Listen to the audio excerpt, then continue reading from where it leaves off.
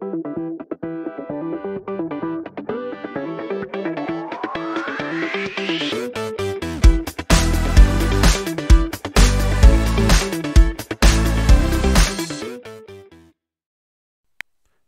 my name is Chris Harris and I'm from Allery Chemistry and welcome to this video on analytical techniques. So this is topic 22 for the CIE specification, so that's the Cambridge Internationals. So if you're studying the Cambridge International syllabus, then this video is perfect for you because it will go through um, the bits that you need for year one analytical techniques. Um, I do have the full range of A-level um, videos for CIE um, on Allery Chemistry YouTube channel. Um, all I ask is that you hit the subscribe button just to show your um, support for this project. That would be great. also, all of these slides are all bundled together to form the full A-level, year one and year two. Um, they're all available to purchase to supplement your revision. They're really good value for money. Just click on the link in the description box below and you'll be able to get them there and that'll be absolutely fantastic if you could go and have a look at them as well. So, um, let's have a look. So this is kind of the final topic for year one chemistry. Anything beyond uh, topic 22 is for year two. So it kind of ends up quite nicely with some analytical techniques. Now we're going to look at some of the analytical techniques here. The rest of them obviously looked in year two.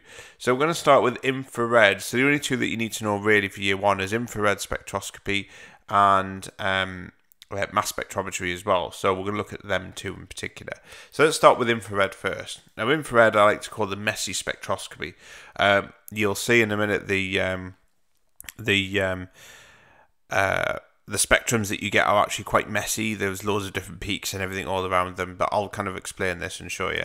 So infrared spectroscopy uses infrared radiation to increase the vibrational energy of covalent bonds in a sample. Okay, so obviously infrared is heat, so you fire infrared at a molecule and the bonds start vibrating um, and the atoms kind of vibrate as well. So obviously they absorb that energy. And the frequency of infrared radiation absorbed by the covalent bond depends on two things. So, one is the atoms that are either side of the bond, um, so what type of atoms you've got, and secondly is the position of that bond in the entire molecule, because you'll get some um, atoms that will influence others in terms of how much energy they absorb, and it can obviously impact the strength of the bond as well. And what we get is we get something like this, which is a spectrum. Now, this is an example of a, an infrared spectrum of ethanoic acid here. Um, and what they'll give you in the exam is they'll give you a table of data. You're not expected to remember these numbers here at all. What you are expected to do is to be able to use the numbers here to be able to predict what functional groups are in an infrared spectrum um, and obviously work it out from there. So this is obviously ethanoic acid. So let's have a look at some of these peaks here. Now the key thing when you're reading spectrum is to look at some of the kind of significant peaks. And now really in infrared, you're looking at anything really above um, anything above about a thousand really anything below that is what we call a fingerprint region and it's it's a unique spectrum for that molecule, but it's something that's really difficult to read. So we're kind of looking at this end here. And what we're looking for are kind of significant peaks at these points, and that will help us identify what we've got. So in this case, we know we've got ethanoic acid, so that's a carboxylic acid. So we have an OH acid signal, so that's this bit here, at about 3000 so it's roughly about there and you can see obviously that fits in quite nicely with the OH acid bit as well so we know that's definitely an acid which is there um, you'll also note, start again. You'll also notice we have a C double bond O, C carbonyl signal about 1700, and there it is. So there's your carbonyl group. So this obviously just evidence or documents these peaks and confirms that it is an um, carboxylic acid. And obviously, we can detect changes in peaks as well when we oxidize alcohols. So, for example, obviously, this is a sample for ethanoic acid. But if we take that ethanoic acid and we um, oxidize, uh, let's say we reduce it, for example, um, so uh, obviously we'll form an aldehyde or a ketone, then what you'll find is the OH bit will probably disappear. If we formed an aldehyde, that will disappear, that peak won't be there. If we ran it through the infrared, this one would still show. So it basically infrared is really there to detect functional groups primarily. Um, it can be used to identify a compound as well, um, sometimes outright by using the fingerprint region. But really, a computer would do that. A computer would try and match that spectrum with a library of spectrum to work that out. You're not expected to be able to do that in you know with with a, a spectrum you know by looking by eye. Okay, so um, let's have a look at that. So that, that's really all he needs to know for infrared. There's not a lot. So the rest of it is mass spectrometry. Um, this is a bit trickier, okay, um, and you have to do a little bit more work with this. I don't think you're getting it that easy. Um, so mass spectrometry is an analytical technique that can be used to determine the atomic mass of an element. Okay, so um, so what we're um, so what we're going to go and look at the details of um, how a mass spectrometer works. Now you would have seen that. Um, so that's not topic one. Obviously, you, you wouldn't have seen that yet. But um, you need to know basically how this um, how this works. So we're going to take like a high level view of how they can be used to determine atomic mass. So what we do is we inject an element into the mass spectrometer and the isotopes that make up the element are ionized okay um so losing an electron and they produce this positive charge. So this is basically what we do to a sample when it gets put through a mass spectrometer. So as the element contains different isotopes so remember what an isotope is? So this is right back into topic one. So that's what we're referring to here. We we didn't actually look at the actual um, structure of the actual um, uh, you know how the machine works but we did look at isotopes. So that's that's what we're referring to with topic one um, but remember, this is an atom with the same number of protons but a different number of neutrons. Um, and they have different masses and they can be separated out within the mass spectrometer. So effectively, you put the elements into the mass spectrometer, um, they're ionized first. Okay, so basically, you knock an electron, um, an electron off them. You then push them through the mass spectrometer, which has a magnetic field, and basically the um, the heavier well you, you can break up the molecule if it's if it's a molecule but the heavier elements the heavier bits of the elements will basically um, uh, will basically be deflected less by the magnetic field than ones which are lighter. And this magnetic field is actually curved. It's like a crescent shaped. So for example your lighter elements will kind of bend much more easily and kind of shoot through the the spectrometer and come out the other side, whereas your heavier ones will kind of come out a little bit they'll kind of take a little bit longer to actually curve around. So it's a bit like um, if you have a car, or say if you had a bike and it was going around um, a corner, um, that bike is quite light, so it can get around the corner quite neatly. But something like a wagon, like a HGV, going at the same speed, will you know, if you try to go around a corner quickly, it'll probably start to swing out. It'll take a little bit longer for it to get around that bend. So it's the same with these molecules here for a mass spectrometry. Um, so the different isotopes, in this case we're looking at elements here, so the different isotopes are detected by a detector, they're displayed on a mass spectrum, and this is what we're going to look at here, is basically what do these spectra show us. So let's have a look. So this is, we're going to look at an element here. So we've pushed an element through the mass spectrometer and out comes this um, spectra here. So we're going to look at different isotopes of an element. So what you'll notice, excuse me. So what you'll notice is you've got at the bottom here, um, you've got your MZ. Now this is your mass to charge ratio. Okay, so this is effectively the mass of an element, okay, essentially, because most of the ions that will go through will be plus one charge. So this is just the same as the isotopic mass. Um, along the top here is the abundance, so this is basically the amount of that isotope that has been detected by the machine. Now in this case, sorry, in this case, it's actually done as a percentage. So we've got 75% of an isotope weighing 35, and we've got 25% of an isotope weighing 37 okay, with a mass of 37. So, like I say, the abundance is on the axis. It can be shown as a percentage. Um, it can be a nominal value. It just depends on what it is. So just make sure you kind of pay attention to that. Um, if it's a percentage, they must add up to 100%, of course. So there we are. So they definitely add up to 100% there. Okay, so this spectra um, shows two isotopes of one element in this case. Okay, so we've got 75% of the isotopes are coming out as with a mass of 35, and 25%, so a quarter of them, are coming out as a mass of 37.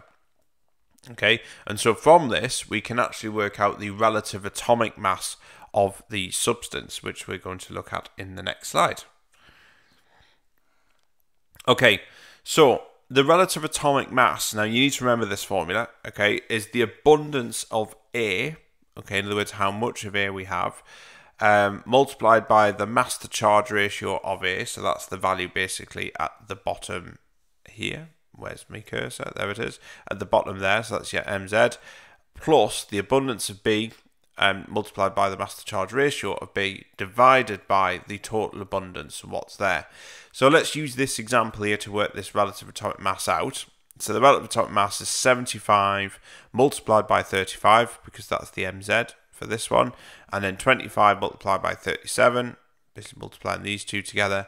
Um, divide that by 100 because the total abundance is 100. We add these up, and that gets us 35.5. Now that's the relative atomic mass of this element that's been put through the um, machine. So if you look on the periodic table, you can find out that this element is actually chlorine that we've put through. So this spectrum has allowed us to identify the element that we've got here.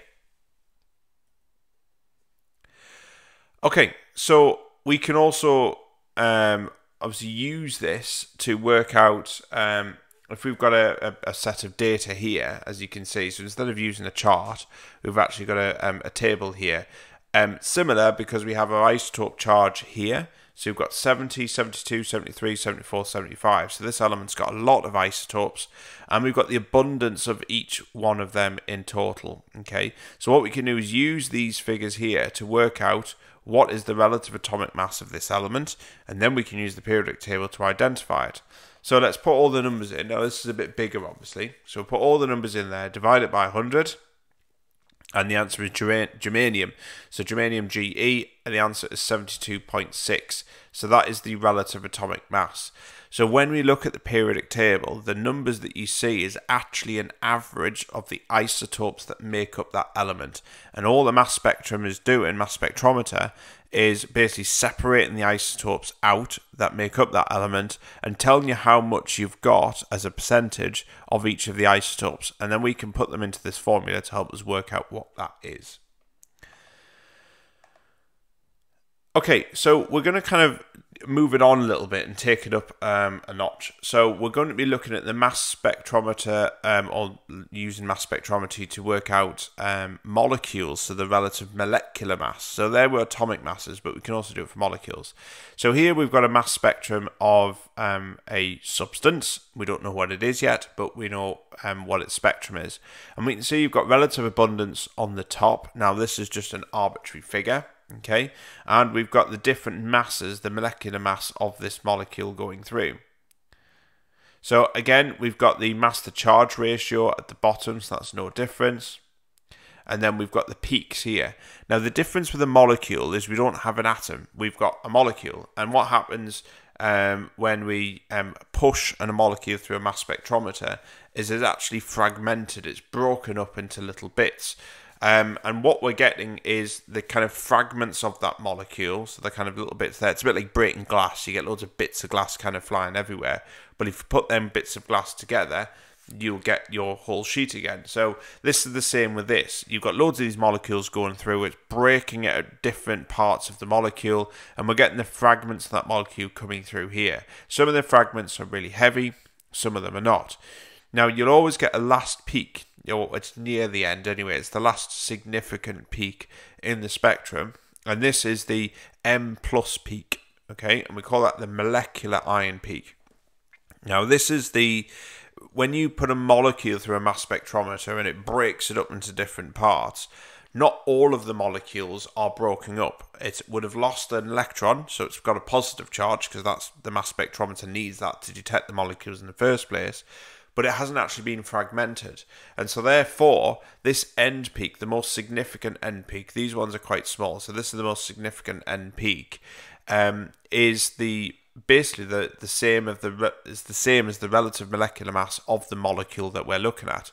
So it's a really important peak, and obviously these are the fragments that help to make up that peak there.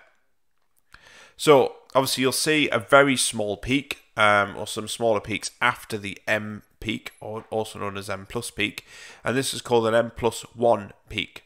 Um, now, some organic compounds which is likely to be put through these machines are made up of obviously carbon and hydrogen. Now, some of them carbons in their molecules are will be carbon 12. The majority will be anyway, so they'll probably represent this M plus peak. But some of the elements in the molecule that we've put through here, some of the carbon atoms anyway, may be carbon 13. And carbon 13 atoms, or some of them might be carbon 13, are a little bit heavier. And so therefore we'll get some molecules here, full molecules, that may have a carbon 13 isotope in amongst that chain. Um, and that's why we get this kind of slightly higher peak here, and we call it an M plus 1 peak. And you might even get some called an M plus 2 peak, um, some isotopes. So, for example, if you've got a molecule that contains chlorine, for example, it might be a um, it might be a, a chloroalkane, for example, um, then we know that chlorine actually is made up of two different isotopes. So you might have a molecule, the entire molecule, with a chlorine 35 isotope in there, and you might have an entire molecule with a chlorine 37 in there. So what you're getting is a peak. This peak might be a haloalkane with chlorine 35 in. This might be a haloalkane with chlorine 37. So what we get is um, a peak that is two heavier than the original peak. And obviously this is showing isotopes of chlorine. So we call this an M plus 2 peak. So just be aware of these different peaks and what they actually mean. Okay, so we talked about fragmentation just before and kind of getting different molecules. So let's have a look at fragmentation in a little bit more detail because it can get a little bit kind of confusing. So like we say, when you put a molecule through a mass spectrometer, they're bombarded with high energy electrons, and we call this fragmentation. It basically breaks that molecule up into kind of certain chunks. And actually, this fragmentation can be used to help determine the molecular structure of the um, of the molecule that we're looking at. So let's have a look at an example here. So we've got propane fragments. Okay, so propane is CH3, CH2, CH3. Now fragmentation produces a positive fragment and it produces a radical. Okay, so only the positive charge fragment is detected. Remember, for a mass spectrometer, the only bits which are detected by the detector at the end are positive charges. Any radicals will just simply not be detected whatsoever. They're produced, but they're never detected. So, the molecular ion peak, remember that's the peak right at the end of the spectrum, is produced, and the molecular ion peak for propane would be CH3, CH2, CH3 plus. Okay, so always has that positive charge. Now this spectrum will produce three major peaks, and let's have a look and see what they are. So you've got this fragment is obviously your molecular ion that will be produced. Um, there is a way which that can be fragmented there, and obviously it's going to be your CC atoms mainly, which will be uh, CC bonds which will be broken because they're weakest. So that will produce a CH3, CH2 dot and a CH3 plus. Now it's this bit that's only detected by the machine. And likewise, it can be fragmented the other way and you can form this as a positive charge. So these are your three major peaks that are detected. So if we put propane through the mass spectrometer, we'll see that fragment, that fragment, and your molecular ion peak there. And this is exactly what you see. So this is your actual um, uh, mass spectrum that's produced. There's your different fragments. So you've got a fragment at CH3 plus is 15. You've got CH3, CH2 plus at 29 and at 44. So this is what you'll see. And obviously these fragments will make up that fragment there. Okay, that's your molecular ion peak.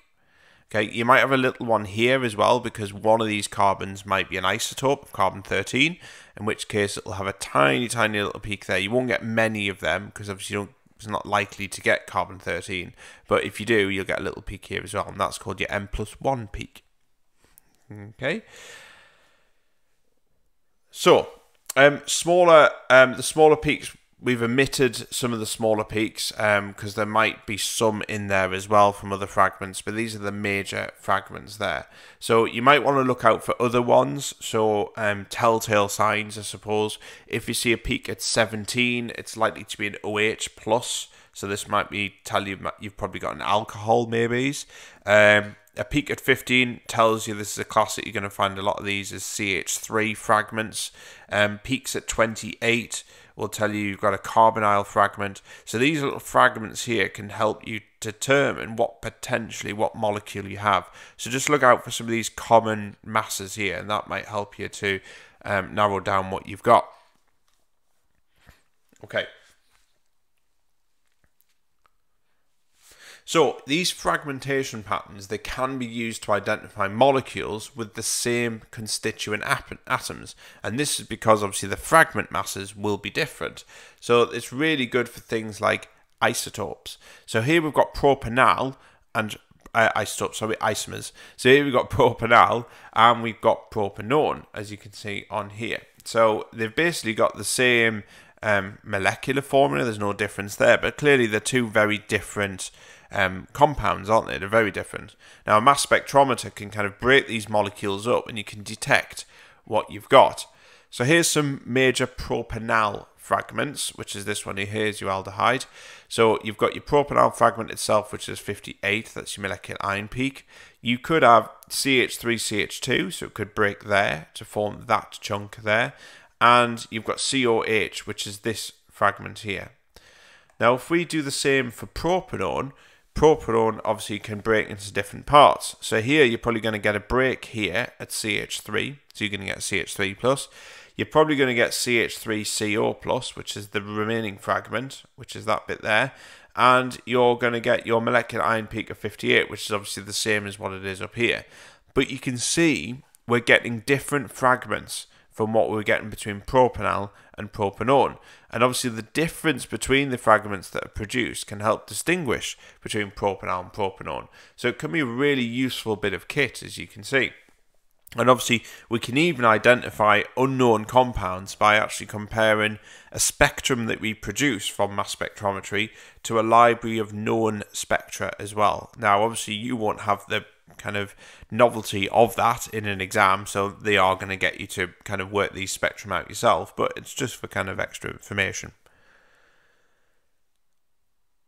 Okay, so we can use this, kind of carrying on with the fragmentation theme, we can use this to look at the difference between peaks in a mass spectrum. Um, and this can tell us about fragments that may not actually show up on the chart. Now, this is a bit weird, okay? So, this really is literally kind of reading between the lines here. So this is really similar to the technique that we've seen before, i.e., we need to know about the masses of some of the um, of some of the common fragments. So you can see in this chart, you can see that we have um, the results of a simplified spectrum of propane. So some of the kind of minor peaks have been kind of removed. They don't really play a role here. So only really looking at the bigger peaks. So there's a difference here between two of these masses here, and the difference between two of the peaks is 29. Okay, so what fragments do we think might have been lost here? So what we've got to be doing is we've got to be thinking about which fragments might have a mass of 29 that could be in propane. So the mass of 29, this actually coincides with the loss of the CH3 CH2 dot and this is the equation here. So effectively, you've got CH3, CH2, CH3 plus, which is the molecular ion peak here, um, and that CH3, CH2 has obviously been lost, and you form the CH3 plus. So this difference here is the loss of that. Basically, that has been removed from that molecule. So we're just looking at what that difference could be between the two. Now this is going to be quite useful when you look at we'll look at some other examples as well later on, but this kind of loss of substance is quite important. So just have a real think about these ones here because they can be quite tricky. I know there could be a lot of different things here, but they are going to give you quite simplified versions of these molecules and they're probably more likely to be hydrocarbons. If there could be a lot of possibilities of what this loss could be, the exam board will narrow it down for you and say, right, this is what it could be, and hence go from there. So kind of look for the clues, I suppose. Okay, so there are times when fragments don't form stable positive charges though, and so this doesn't form a peak on the mass spectrum, which doesn't really help. So, like I say, we can work out the difference from what I've showed you before in peak value, and this can be vital evidence for some of these missing peaks. So we've got this graph here um, to the right. So this is a, a, mass spectrum. Here we've got relative intensity, um, which is just relative values, and we've got that MZ on the bottom there. So here we have the mass spectrum. In this case, it's for chlorobenzene. Now, don't be too concerned about the benzene bit. Okay, this is, you'll see this in A level, um, the full A level, but it's chlorobenzene. And what we have really here is two peaks. So we've got a peak at MZ 112, okay, and we've got a peak at MZ 114. Now we know that chlorine, because this is the most important bit, has two isotopes of 35 and 37. Okay, so we know that. And their relative abundance is 75 to 25. So the peak at 112, okay, which is this one here, okay, that one there, um, is three times bigger than the peak at 114, which is this one here. So the M plus peak is 112, so this means the 114 is the M plus 2 peak, okay? This kind of unique split of a um, 75% to 25% ratio with a difference of 2 is a really strong suggestion that you've got a chlorine in here. There isn't many isotopes that have that split with that um, that difference of 2. So whenever you see something like that, you've got to think, yeah, it could be a chlorine in there. Okay, so just be really vigilant for that specific pattern. So from this, we would expect to see significant peaks at 35 and 37 to show the chlorine isotope fragments which have broken away from benzene. However, as you can see here, they're not there. They're missing. Okay? So, the peak at MZ77 though, and this is what we call a phenyl ion. Again, you'll probably see this a little bit more. Um, is present in this in this molecule here. So basically, if we look at the difference between the M plus peak, which is the molecular ion, and 77, then we get a loss of 35. And if you look in the periodic table and you look at the, the relative atomic mass of an element with 35, that shows you that actually it is chlorine that's there. So sometimes, and I know this might sound really odd, but sometimes that chlorine, for example, won't appear in the spectrum. So looking for mass losses or differences is just as powerful and actually just as vital as actually looking for the peaks themselves. So just make sure you're aware of these differences in the actual, um, you know, in the peaks. Okay, so kind of sticking with the mass spectrometry, um, you see there's a lot of information on mass spec here. Um, so we can also calculate the number of carbon atoms in a compound using a mass spectrum. And we use this very simple formula. So we can use, and this is a specific one that you've got to you've got to remember. Basically, you must remember this. So we can work out the number of carbon atoms in a compound by using this formula. So n is obviously the number of um, atoms. 100 times by the abundance of the m plus 1 ion, okay, divided by 1.1 times by the abundance of the m plus ion. So this is your molecular ion here. So we've got our spectrum here. There's your M plus and there's your M plus 1, which is the middle one just squeezed in there. So here we can see the relative abundance of the M plus 1 peak. Now in your graph it's going to be easier to read, but this is approximately 7. Okay, now in your example you will get a graph that you'll be able to read it. It's not quite as easy to read it on the screen here, but it's approximately 7. And the relative abundance of the M plus ion, this one here, is 100. So that goes right up to the 100 there. So the calculation should be 100 times 7, okay, divided by 1.1 times 100. And if you round this to the nearest whole number, this gives us an n of 6. So this is telling us that this compound should have 6 carbon atoms in the um, in the spectrum okay in the in the actual molecule so it's a nice neat little way of kind of accelerating how many carbons you've got rather than trying to work out what it is. It's a good place to start with this, to be honest. Okay, so let's finally look at high resolution mass spectrometry. Um, so, as it suggests, it sounds very technological, advanced, uh, kind of advanced bit of kit here. It's like HD TV. Um, this is high resolution mass spectrometry, and it's really useful for identifying molecules with the same molecular mass, um, and they're rounded to the nearest whole number. Okay, so it's kind of like high resolution, of course. So your high resolution mass spectrometers, these measure the relative mass of what you're putting through the machine to several decimal places, unlike your kind of standard low resolution, which will only really be able to detect relative masses to the nearest whole number, which is fine for the majority of molecules. But if you're running um, chemicals through with the same molecular mass, it's not that much good because you're not really going to identify the difference. So, for example, let's bring back ethanal and propane. Um, these have a the MR of 44 to the nearest whole number. So if you put that through a standard mass spectrometer, it wouldn't know the difference. Okay, so it wouldn't be able to uh, tell the difference between the, the, the masses of them. So we can use the atomic mass data to measure to four decimal place and we can distinguish between the two. So we know that carbon 12 is exactly 12, hydrogen is 1.0078, and oxygen is 15.9990. So this is to the nearest four decimal places. So if we look at the molecular mass of your um, ethanal, which is here, so we put the numbers in, literally use the exact numbers here, and that gives us 44.0302.